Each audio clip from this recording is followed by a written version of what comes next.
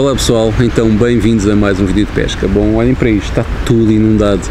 É verdade, nós estamos praticamente no inverno e estar a fazer um vídeo sobre pesca no verão dá uma nostalgia. Saudades. Em relação a este vídeo, bom, é a continuação do primeiro vídeo em Tenerife. Se vocês não viram o primeiro, no final tem o link direto para, para esse mesmo vídeo. Não, não precisam de ver agora, no final está lá o link direto. Nesse vídeo eu, eu mostro o, o, resort onde fiquei e mostro também o material que vocês vão necessitar. Neste vídeo vou-me focar em outras espécies. Na, na, no primeiro foquei-me em drop shot, nesta vou-me focar, focar em outras espécies e outras amostras. Micro sandilos. Bom, as micro sandilos é uma amostra muito boa, resultou lá muito bem para apanhar peixe agulha. Eu não me dediquei muito a isso, apesar dos peixes serem um pouco maiores que aqueles que eu apanhei no primeiro vídeo. Quando estamos num sítio novo queremos apanhar espécies diferentes e os agulhas aqui em Portugal e aqui com fartura. Mas caso vocês queiram apanhar alguns só para, para se divertirem um pouco, metem uma micro sandil, um giged que vem com as micro sandilos de 5 gramas é mais que suficiente e muito importante, uh, não tentem pescar aqueles que estão nas zonas mais calmas, que vocês até os estão a ver, mas sim aqueles que estão mesmo na arrebentação. Esses são os que estão a caçar e esses são muito mais fáceis. Os outros, vocês veem-nos a vir atrás, a dar pequenas dentadinhas no vinil, a rasgar-vos o vinil todo, mas não vão apanhar. Ora, em relação ao isco misterioso que eu disse no primeiro vídeo, que funciona em todo o lado do mundo, seja em rio, seja em mar, é, é o pão. É verdade, o pão funciona em tudo que é sítio. E então o que nós temos que fazer é, quando alugarmos o nosso carro, uh, antes de irmos dar uma volta com a nossa família, mesmo na saída do resort, cortando à vossa esquerda, acham uma rotunda, nessa rotunda passam por baixo da autoestrada e têm o Lidl. Entram lá dentro e compram dois, dois sacos de pão de forma, aquele pão tipo bimbo, uh, que, que é para fazer as chanes, comprem dois sacos, levem-nos, isso é o isco misterioso que vocês vão necessitar nesta pesca. E então vamos agora começar a fazer as nossas viagens. Bom, se nós formos para a nossa esquerda temos Masca, Masca é um sítio lindo, uh, recomendo-vos vivamente visitar, mas tem um pequeno problema, fica em, numa, zona, numa zona montanhosa. E têm que ter alguns têm que ter algum à vontade a conduzir, porque vocês vão estar a conduzir um carro que não é vosso e estão a conduzir numa estrada que só tem espaço para um carro. Têm que dar, quando são dois carros, têm que se jogar mais para a beira e é um bocado complicado. E sendo uma zona montanhosa, bem, basicamente é o mesmo que a Serra da Estrela, mas com estrada um pouco mais, mais encurtada, mais, mais fina. É, é complicado.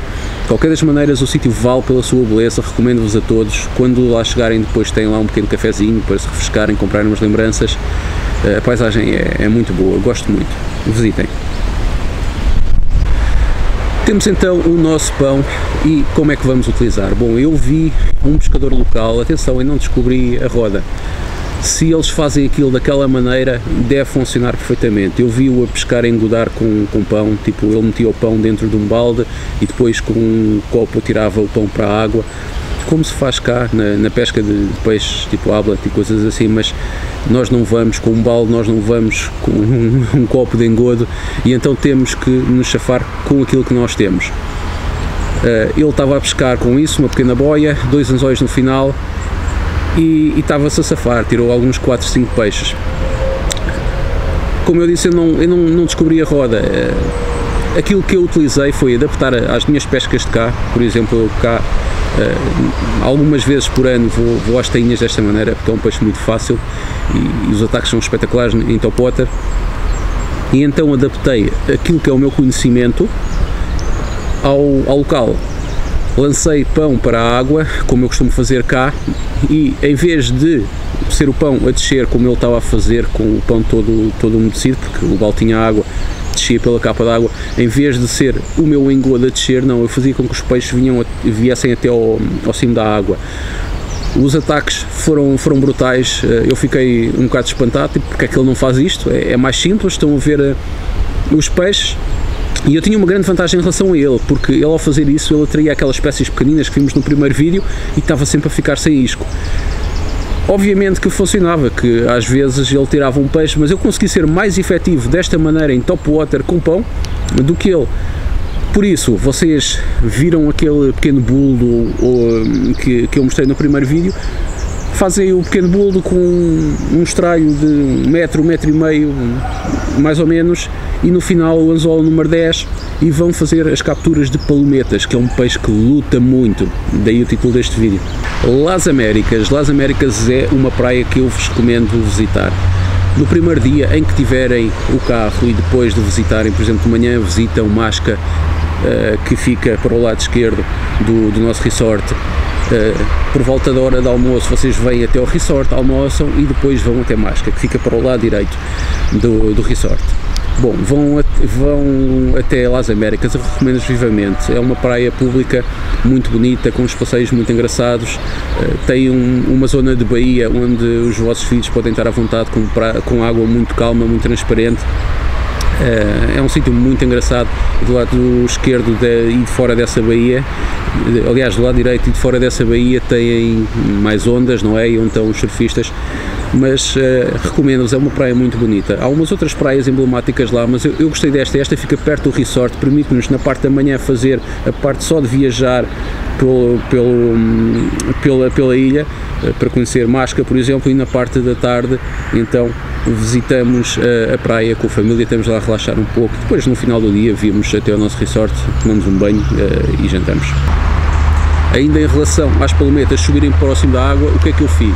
Bom, a certa altura estava tudo muito engraçado, eu estava a tirar com o bolo, mas elas no cimo da água, o que é que eu pensei? Bem, vamos tentar fazer o seguinte, meter o, o popper aqui no cimo, deixar então o terminal com um bocadinho de pão e vamos ver se eu consigo capturar algum peixe assim com, com popper. E tive ataques no popper, mas só assim. Eu tive que fazer o peixe subir as palometas, subir e entrar naquele frenesi alimentar para conseguir ter as capturas, porque eu já tinha experimentado fazer as capturas antes sem, sem nada engodar e não, elas não tinham subido. Assim que eu fiz isso, bem, foi vê-las a subir e com o popper fiz as capturas. Pão, como eu disse, é uma isca universal, anzol número 10, sem qualquer estralho, nada, sem qualquer estralho, não, sem qualquer chumbo. Nós queremos que o nosso pão fique no cimo da água ou que vá descer muito devagarinho. Faça uma pequena bola, não, faz, não façam como nas tainhas em que a gente espeta o pão e está feito. Não, façam uma pequena bola, este pão permite, e uma bola mesmo muito pequenina, do tamanho de um anzol, e vai descer devagarinho e elas vão comer dessa maneira. Com isso vocês vão conseguir fazer capturas de palometas, que é um peixe super divertido e não têm os outros peixes uh, que estão lá embaixo, como ele estava a pescar, com, com, com o chumbo a descer até lá ao fundo, não tem os outros peixes a chatear, conseguem mais capturas, tornou-se mais efetivo neste caso do que aquilo que o local estava a fazer. O que é que nós precisamos de ter em atenção em relação ao CM Park? Bem, está a chover e eu fazer um vídeo sobre o verão. Tem que ter em atenção o seguinte, não levem chinelos, levem aquelas, aqueles sapatinhos que vocês metem nos pés quando vão para as piscinas, levem isso já de casa.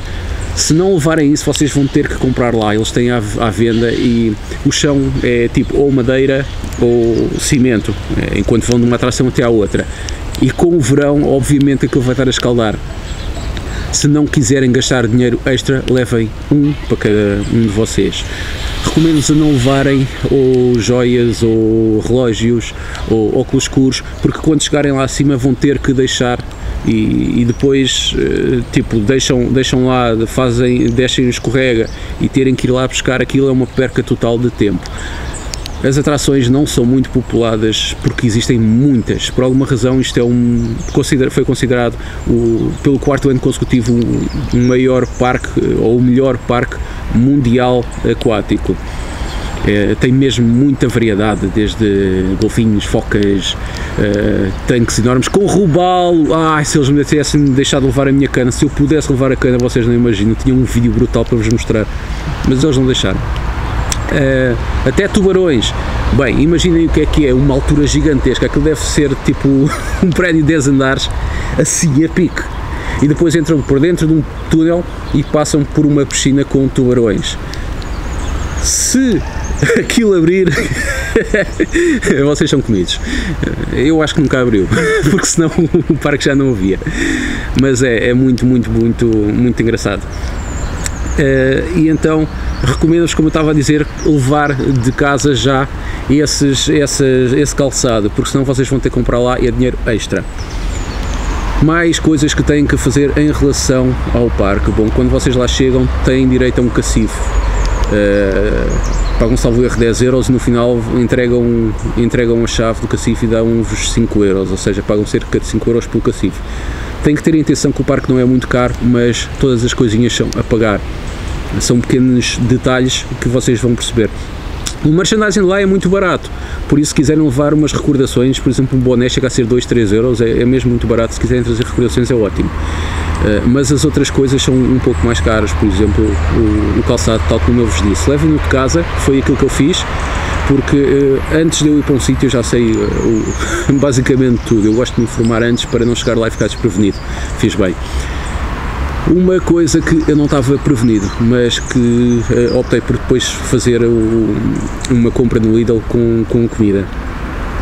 Uh, eu sou vegetariano e lá a comida funciona muito à base de hambúrgueres, pizzas uh, e cachorros. Não é para mim e a comida é cara além de ser cara, os sítios para, para vocês estarem a comer são muito curtos, muito, muito curtos mesmo. Eu, eu por acaso metia as minhas coisas perto da, da, da piscina de uma piscina de ondas que tem lá, enorme, gigantesca, e então aí tem montes de espaço, porque a maior parte das pessoas anda, anda, anda por lá no, nas atrações e ali tinha montes de espaço e foi aí que eu comi. Mas eu, como eu estava a dizer, eu fiz as minhas compras no Lidl e levei. Isso não se pode fazer, mas vocês metem dentro da vossa mala porque eu não vou estar a comer um hambúrguer e comer pão e, e, e comer o, o tomate de, do hambúrguer e acabou. Outra coisa que não podem fazer, desde 2017 legislação da Europa nós não podemos fazer piquenique. Antigamente, quando estávamos num hotel com tudo incluído, nós podíamos chegar, chegar ao hotel e dizer: Olha, eu vou fazer um piquenique amanhã. Eles preparavam-nos uma cesta com comida e nós levávamos e, e comíamos. Agora já não é possível fazer isso. É, por, causa, por causa dessa nossa nova lei que, que eu disse, desde 2017, ou seja, desde o ano passado que está ativo, e então têm que uh, vocês comprar a vossa comida, caso não queiram gastar tanto lá ou caso não queiram estar à espera tanto tempo numa fila para comer, uh, ou sejam como eu e, a minha mulher e, não comam, não comam esse, esse tipo de comidas, então uh, tem mesmo que fazer isso. Espero que no próximo ano faça novamente isto. Hum, já visitei uh, nos Açores, mas sem cana de pesca. Conseguem acreditar? Foi mesmo incrível. Imaginem vocês estarem assim a olhar para a água, tipo, parecia um miúdo olhar para um chupa-chupa sem poder lá, lá tocar, muito mal mesmo, muito mal. E, e, quero ver se no próximo ano faço então um vídeo já, já nas ilhas, seja Açores, seja Madeira, numa ilha diferente e, e, para vos mostrar um pouco da pesca nas nossas ilhas que são, são top. Temos condições incríveis para fazer pesca também por cá.